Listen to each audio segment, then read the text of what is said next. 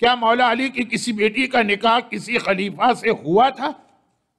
हुआ तो नहीं था, लेकिन मशहूर बहुत कर दिया गया। है और क्यों मशहूर किया गया है? दुश्मनान अहले बैत ने तो अपने इंटरेस्ट में मशहूर किया। लेकिन उनको ज़रा सपोर्ट मिला है अरबों के उस तरीके से जो एक ज़माने में हमारे यहाँ भी था।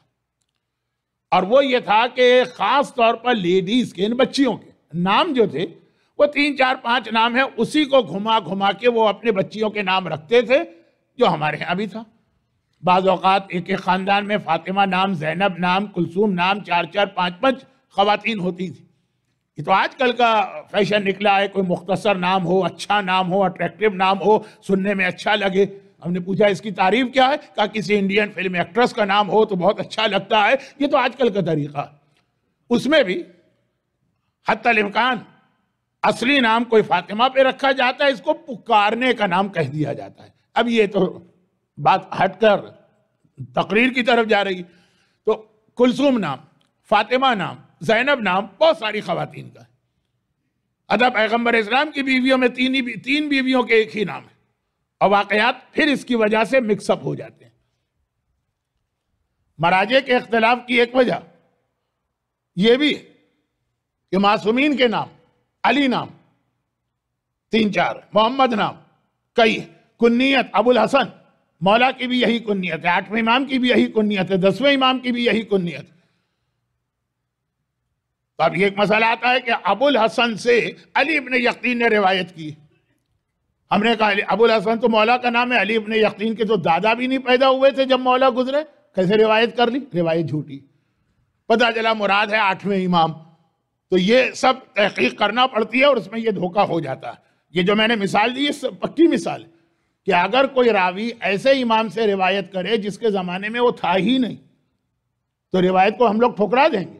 भैया, तुम थे ही नहीं इस इमाम, थे नहीं का मतलब पैदा ही नहीं हुए थे। तुम्हारे बाप भी नहीं पैदा हुए थे।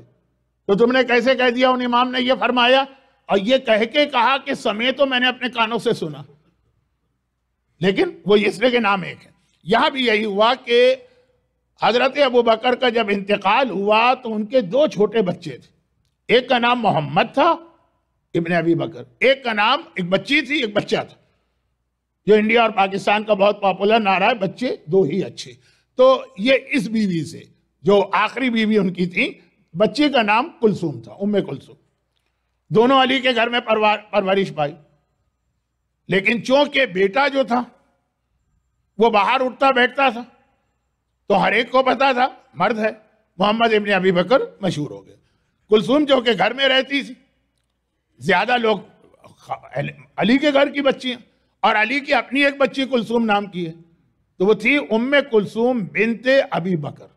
अली के घर में परवरिश पाई, अली अपनी बेटी की तरह ट्रीट करते हैं, जब जवान हुई तो हज़रत उमर ने कहा कि मैं इससे शादी करना चाहता हूँ, कुना जिनस बा जिन्स, हम परवाज एक, एक एक जैसे घराने की शादियाँ होती है मौला ने वो शादी कर दी।